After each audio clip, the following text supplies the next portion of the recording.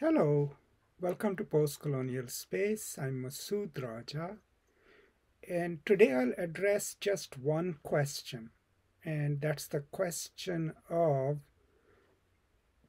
the neutrality of a scholar. Can there be a neutral position, or how to write and research in a way that your passions are involved in it, but you're still not just deeply subjective. So the question of neutrality and is it possible? Uh, so this came up in uh, our uh, monthly discussion of our dissertation and research discussion group, which I have just recently launched and people joined it. And I'll post a link to that in the description so that if you feel like joining us, you're all welcome. And one of the scholars very aptly was troubled by this question of neutrality, but also this question of can we write our own selves into our scholarly work? And to be honest, I mean, there is no simple answer to that, right? My personal ideas about it are that first, we always want to work on things that we are passionate about, that we care about.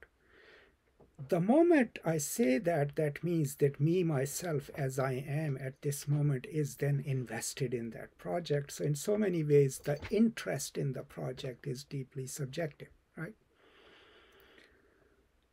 But then, where does that subjectivity come from, right? Does it stem from this inner core unsullied by the world? right? And it resides there until I extract extract it and express it.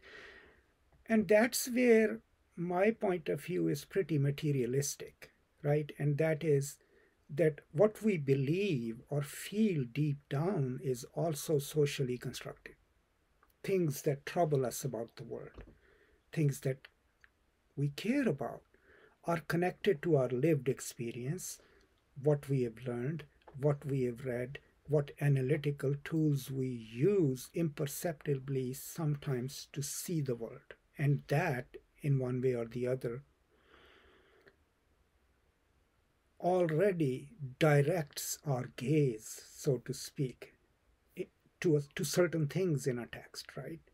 So if I'm a leftist scholar and I'm reading a novel, part of what I'm reading is what is the text ideology, who does it address, which class interest does it privilege? Will everyone do that? Probably not if they are not trained uh, as Marxist critics, right? So, my point about neutrality then is that there is no vacant position that we can take as an, a vessel with no expression and then express it. We always, you know, as Althusser and others taught us, we are always within an ideology. And if you go by Foucault, we are always within a discourse of knowledge and power. So the question isn't whether I can write from a non ideological position or a non discursive space, because that might be impossible, right?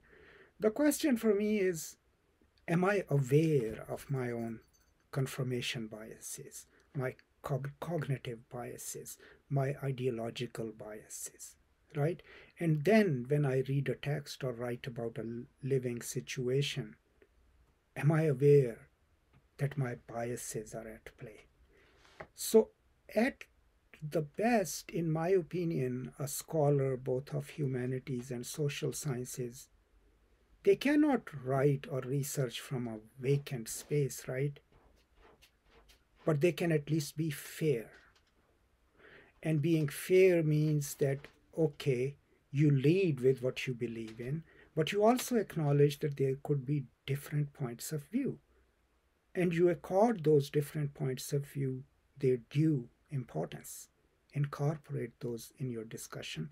And if someone is opposed to your views, you hear them out, right?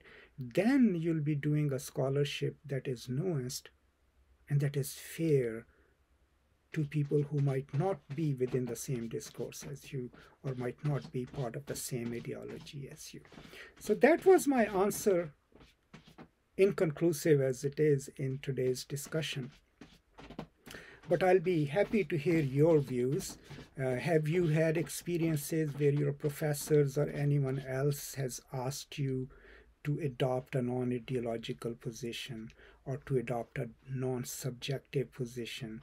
And if you do that, do you think it can effectively be done or is it just semantics right is it just you not naming yourself but calling yourself the researcher right and letting the research speak for you. What are your views about that? And i would love to hear those.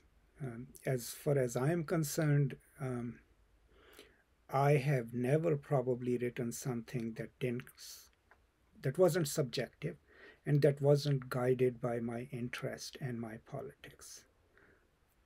But what I've trained myself to do is to also develop the capacity to look at the same body of knowledge from other perspectives and see if someone else is reading it differently, why are they reading it differently? And to me, that is kind of a fair scholarship it allows me to use my own preferences and my own politics of thinking about a text, but it also creates a space in there for me to be at least attendant to how others are reading a certain text and, and be respectful of them and be tolerant of differences.